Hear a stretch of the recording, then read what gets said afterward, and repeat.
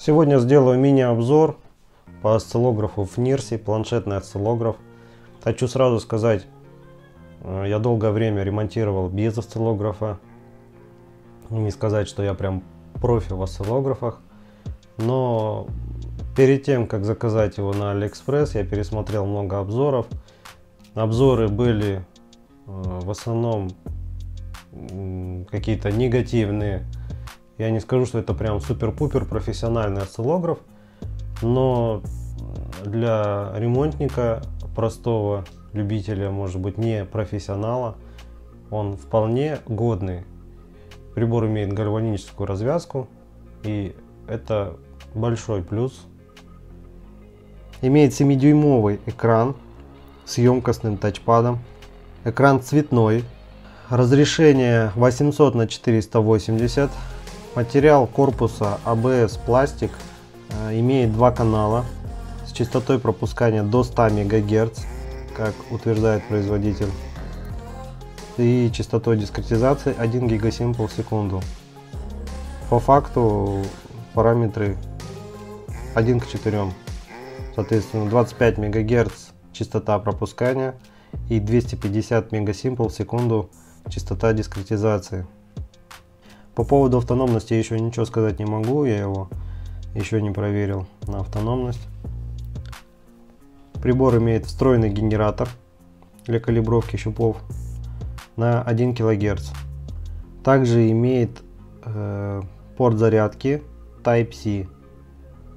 Указано, что напряжение 5 вольт, максимальный ток заряда 2 ампера и кнопка включения.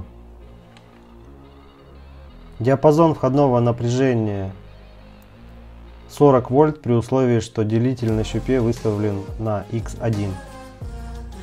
Соответственно, если делитель на щупе выставлен на X10 до 400 вольт. Также прибор имеет встроенную память объемом 1 гигабайт, что позволяет э, хранить до 1000 скриншотов и тысячи наборов данных волновой формы. Осциллографа у меня раньше не было, как я уже сказал. Поэтому я сейчас покажу самые основные э, моменты, с которыми я уже успел разобраться. Основными моментами, скажем так. Сейчас щуп подключен к встроенному генератору. Удобство в том, что есть кнопочка автосет. Автоматически определяет входной сигнал. Можно также менять амплитуду вручную для первого канала. Для второго канала он сейчас у меня отключен. Также прямо на планшете можно э, шире, уже делать, смотреть более детально. Э, можно сохранить изображение только как изображение. Можно сохранить полностью волновую картину и потом уже детально рассматривать ее. В меню можно поменять яркость дисплея, яркость сетки самой. Я выставил по 30-20%. Вполне достаточно.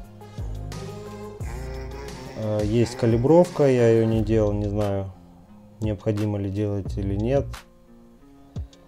Э, выставляет это вот это вот always trigger выставляет ровно посередине триггер.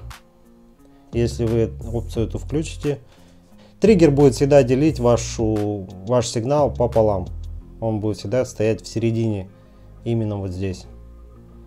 Ну, по умолчанию он был выключен, и с этим я еще буду разбираться. Также можно посмотреть ваши сохраненные э, скриншоты, сохраненные волновые картины и подключиться через USB к компьютеру, чтобы передать сохраненные картинки. Так, также здесь можно отключить канал, включить канал. То есть для каждого канала есть своя менюшка. Здесь вы первое это включение-выключение канала. Вот это вот я еще не знаю, что такое. Вот это DC, AC, то есть э, измерение напряжения, которое там постоянное либо переменное. Также вы выбираете, с каким делителем вы используете щуп от 1 до 100.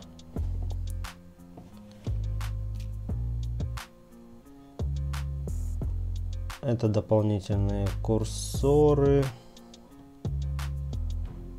Вот здесь в этом меню вы можете выбрать отображение для каждого канала, что вы хотите видеть.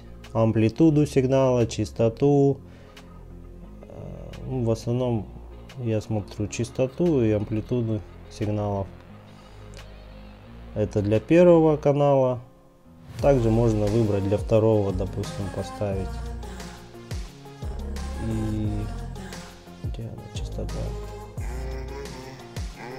Вот они появляются здесь внизу. Так как у меня подключен сейчас первый канал, он показывает 1 килогерц.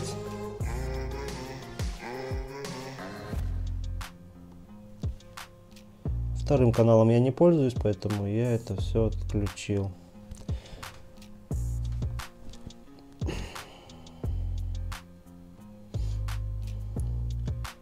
Также есть настройки триггера. С этим я еще тоже пока не разобрался. Буду разбираться. В целом осциллограф за свои деньги очень даже неплохой. Он стоил, когда я его покупал, около 130 долларов со скидками. Он мне вышел примерно в 120 долларов. Да, есть некоторые недочеты у него, но с этим все буду разбираться, смотреть, изучать. Подойдет такой осциллограф больше, наверное, для работы в автомастерских, где надо посмотреть, допустим, э, сигналы камшин, установщиков может быть сигнализации. Приборчик я взял для себя для домашнего использования. Не нужен мне прям сильно навороченный прибор. В основном мне необходимо проверять сигналы шим контроллеров. Бывает на ноутбуках чаще всего бывает такая проблема, что шим-контроллер вылетает и нечем посмотреть сигнал. В целом, я считаю, что осциллограф неплохой за свои деньги, за свою сумму, он неплохой. Конечно, вот эти параметры завышены, 100 МГц, но до 25 МГц он вполне себе нормально справляется.